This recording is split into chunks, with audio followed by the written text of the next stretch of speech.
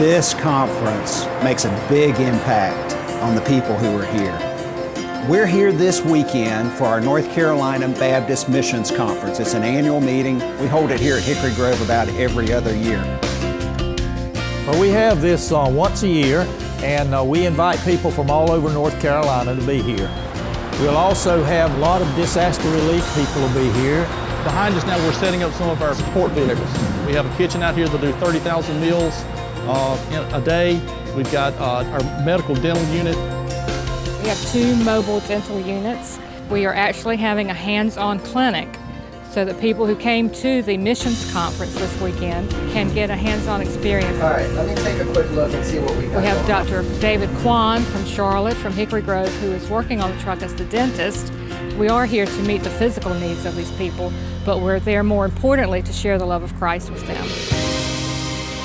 There are people who are here, volunteers who are very active. We want this weekend to be a time to renew them, revive them. We want God to speak to them. There are worship times and great music. Christy Nockels and Brian Laritz, Anne Graham Lotz, David Platt, and just our times where people are really worshiping.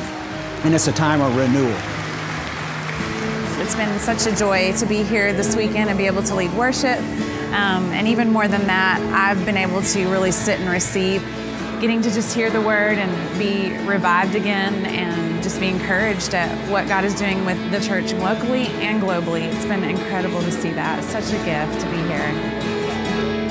I'm just so thankful for the opportunity to be a part of this conference this weekend Hickory Grove is so graciously hosting just to see men and women from all over the state, even from other states, gathering together saying, how can we best spend our lives for the spread of the gospel? It's just an incredible thing to see, and I hope that the Lord will use it for His glory in ways far beyond what we could ask or imagine. One of the benefits of a conference like this is that you network with other people who have the same heart that you do. When coming together expands your vision. The people that gather here have such a heart for the world and for helping people, but in Jesus' name, not just doing good things, but doing things that uh, bring people to Jesus. And I just love them with His love.